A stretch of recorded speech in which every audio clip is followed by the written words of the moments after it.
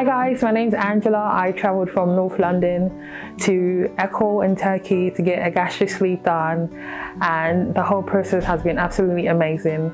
Um, from, from the consultation to um, my conductor to the travel here, the transfer, when we got in, when they did the, um, um, the blood test, they did so many, they check you from head to toe and I must say 100% I would recommend this to anybody who wants to get it done.